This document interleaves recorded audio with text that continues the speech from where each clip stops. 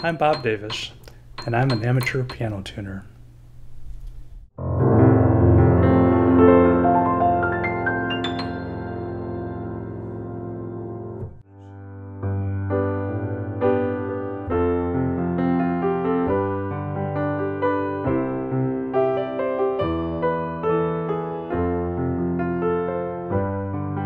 I started playing in the second grade.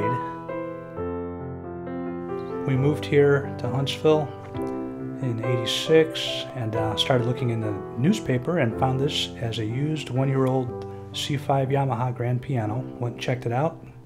Played really nice. It was a good price, so um, we purchased it.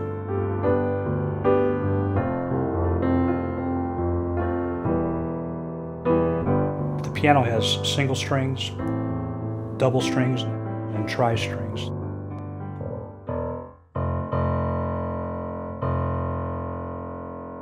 With a hammer, begin to move that pin back and forth to either add tension or reduce tension relieve tension on the string, which either causes it to go sharp or flat.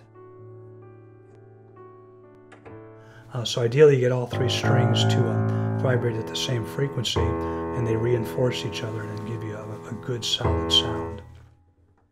440 hertz is the frequency, um, the standard for A4 and all pianos and really in instruments in the Western world uh, utilize the note A4 on the piano.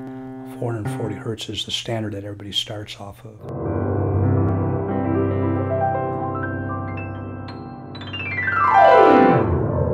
How do I know so much about all this? Well, researching, talking to people, of course, playing guitar, where you're always tuning your guitar, and just you know some basic understanding of uh, physics and audio and light. They all kind of you know it's all based off the same principles. It just kind of all makes sense if you take time to put it all together.